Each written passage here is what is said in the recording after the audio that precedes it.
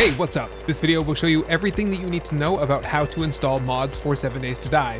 There are some timestamps below if you want to skip ahead or reference back in the future, but otherwise, let's begin. To start things off, we're going to be looking at the 7 Days to Die mod launcher. You can just type this into Google to find the link to it, and there will also be a link in the description down below. Once you're at the website, just download the file that you need, and once you have the zipped file, you're going to have to extract the contents somewhere onto your hard drive. Open up that folder and then double click on the executable file, and it should look something like this when it loads up. This should be your main view, and you'll see some options here on the left. The first option will be to install an overhaul mod such as Undead Legacy, Darkness Falls, Age of Oblivion, and several others. If you click on this, it will give you an entire list of all the compatible overhaul mods that are preloaded into the mod launcher. So just select the one that you're looking for, in this case Darkness Falls, and press install. And now you'll have two options. The first will be to copy from local and the other will be to download from Steam. Now basically what this means is that the installer is going to make an entire copy of your 7 Days to Die game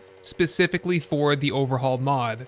Now you can choose to download a fresh copy from Steam if you've perhaps been tinkering around with the game files on your own, or you can just copy your own local 7 Days to Die folder as is, and then Darkness Falls will be installed into that or whichever mod you've chosen. So in my case, I'm going to copy from local. I'm going to browse to the location on my hard drive that contains the 7 Days to Die folder that I already have installed from Steam and I'm going to say start copy, and it's going to start making a copy of that 7 Days to Die version that I have, and it's also going to download and install Darkness Falls for me. This process does take a few minutes, and you'll get some interesting things to read while you're waiting. And when it's done, you'll get this view right here, and you'll see a lot of options to, for example, read the description of the mod or any recent updates. You can join the community, donate, see the website or Twitter.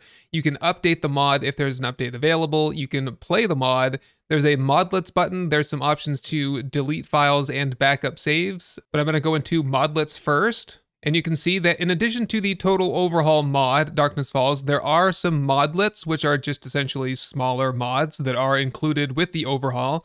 Some are made by Khaine and some are made by others. For example, B-Dub, who made a vehicle mod. You can toggle these on or off, or you can add additional mods. And to do that, you're going to go over to the left here. This dropdown can show you Alpha 20 modlets or any version prior to Alpha 20 in case you're playing an older version of the game. And then all you have to do is click refresh modlets and it'll take a minute to pull in all of the available modlets that you can uh, add into your game. So now you'll see this long list here on the left and you can shop through. It doesn't give you a great preview or much information at all about the modlets, so you might have to do some research on a third-party website to uh, figure out which ones that you want or to learn more about them. So let's say you want to add a lawnmower into your Darkness Falls playthrough. So you'll just select the lawnmower modlet here and click install. It will download that for you and it'll put it into the appropriate folder. And you can see it here on the right. You can disable or delete that if you need to, and otherwise you're just ready to play. And so here you are at the main Darkness Falls menu, ready to start your new playthrough. So that's basically it for the mod launcher. I'll show you how to install just smaller modlets with the mod launcher in a little bit, but I want to show you how to install a total overhaul mod without using the mod launcher in case you want a little bit more manual control. And I would advise that you be familiar with how to do this manually as there are probably some cases where things will not be compatible or things will not be updated, and so you want to be able to do things on your own. So the place you want to be is on your hard drive wherever your 7 Days to Die game is loaded. You can see my pathway right here, and you're going to go to the 7 Days to Die main folder, right click and just copy or just right click and drag and say copy here. This will make a complete copy of the whole game onto your hard drive that you can tinker with as you will. Now you'll see in my folder here, these are my other Steam games, but I have a copy of 7 Days to Die for Undead Legacy and another one for Darkness Falls 2.4 right here. And so I always have those mods available for me if I ever want to go back and play those, or I can just use vanilla 7 Days to Die and I don't have to go through the process of installing and uninstalling. They're just always there. So I'm going to name this one Apocalypse Now, and then we're going to search for Apocalypse Now in Google. Then we're going to go to one of two places. The one number one go-to place for mods for 7 Days to Die is 7 days to die mods.com. The second place that I would recommend using to get your mods would be nexusmods.com. Both of them have a very large supply of good quality mods, and you can get pretty much all of the main mods there that I know of as well. So in this case, I'm at 7 Days to Die Mods. I'll click on the download link It will download in the lower left corner, and I'll just open that up when it's done and I'll extract the contents of that zip file directly into the mods. Now, Apocalypse Now, huge conversion mod. It uses a lot of other mods and modlets, and so you'll see there's a ton of mods that are going to be here in the mods folder. And I'll say it right now, if you open up your 7 Days to Die folder and there's not a mods folder, in there by default, which there is not by default a mods folder in there. You'll need to make one. Just right click, add new folder. You're going to title it mods with a capital M. It is case sensitive as far as I know. So make sure that the mods folder is there and then all of your mods will just be copied in here. You do have to make sure that the right folder is in here. You you wouldn't want to drag in the zip file in here. You want to make sure that these are actually the mod folders. And if you ever have a question whether you have the right folder to put in the mods folder, you should just double click on that folder and immediately inside there should be some other folders, but also there will be a modinfo.xml. If the modinfo.xml is immediately inside that first folder, then you have the right folder that needs to be in the mods folder. So now that everything's copied in, you want to load up Apocalypse Now. You're just going to click on this 7 Days to Die executable file that's inside the Apocalypse Now version, this copy that you've made. You do not want to enter the game through Steam anymore because if you go through Steam, it'll just load up your default 7 Days to Die. So if you'll probably want to right click on this and create a shortcut and maybe put that on your desktop somewhere and label it Apocalypse Now so that you know how to get into the game at a later time. So the game boots up and yes, you are in Apocalypse Now and you're ready to start your first playthrough there. Okay, so what if you don't want to have a major overhaul installed and you just want like a couple smaller modlets? One option that you have is still to create a backup version of the game. Now, I do recommend this just to make a copy have it separate so that you can always go back and, for example, play some multiplayer and you just don't have to fuss around with moving mods in and out of the mod folder in order to get back to like the default state of the game. So the mod launcher gives you the option to do that. You can just uh, click on install my mods instead of install overhaul and this will still produce a new copy for you. Same process as before. You can label it to your heart's content and copy from local or download from Steam. Again, you're going to browse to your 7 Days to Die default folder, select that, and you'll just click Start Copy. So give that a minute and you're, you should be all set. This should look familiar. It's basically the same window, but with a little bit less flair than we had with Darkness Falls. You can then go to Modlets, and again, if you don't have any modlets showing up, you'll just hit the refresh modlets button. So then you can just shop through the available modlets again. Let's say today you want to play with the 15 slot tool belt from Khaine. So you search for that, you click on it, you press install, you give that a second to load in. You load up the game by clicking the play button right here, and it should bring you right into this version of the game that you have this copy that has that modlet active. And then you'll open up your world, or you can start a new world. And once you get in, you can just check and make sure that yes, you have this nice big 15 slot hotbar. Everything appears to be working here. Let's load back out. So what if, again, you don't want to use the mod launcher or you just want to learn how to install modlets without using the mod launcher? Well, it's very similar to how you installed the total overhaul version. Now, in the previous example, I made a copy of the 7 Days to Die game, but let's say you just want to play with something really simple like Khaine's lockable inventory slots. So you just make sure you have that mod downloaded, you unpack that file from a zip folder, you have that folder, you drag it into your 7 days to die mods folder. Now in this case, I'm just using my default 7 days to die, like my master copy of 7 days to die. I put it directly into that mods folder, copy it in, I click on the executable, load the game up. In this case, if you have your mods installed into the default 7 Days to Die folder that's connected to your Steam account, you can just load the game through Steam and your mods will be loaded up.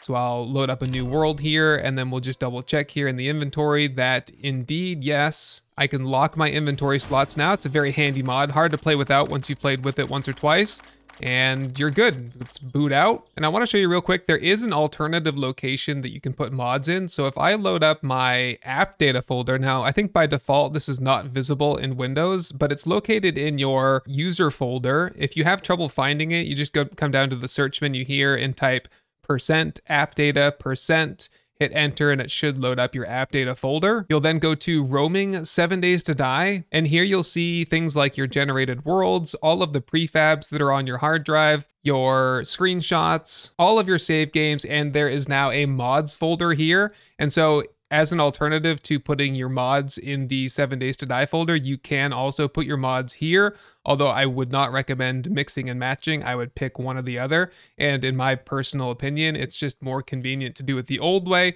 which is keeping it directly in the 7 days to die folder. Okay, so so far we've gone through how to use the mod launcher to install overhaul mods, how to install overhaul mods without the mod launcher, how to install modlets with the mod launcher, and how to install modlets without the mod launcher.